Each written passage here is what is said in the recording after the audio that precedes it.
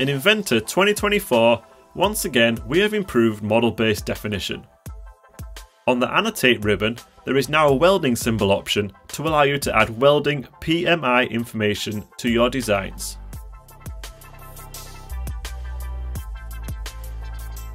The dialog is almost identical to the drawing environment, allowing you great flexibility over your welding symbols.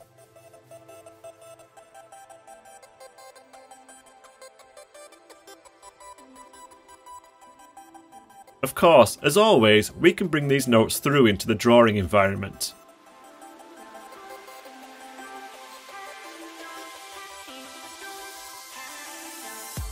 Remember, we don't have to use a weldment assembly for this.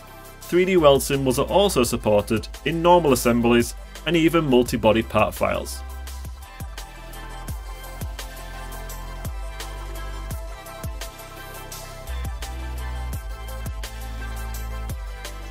And with QIF or Step 242, we can export this information to other systems and viewers.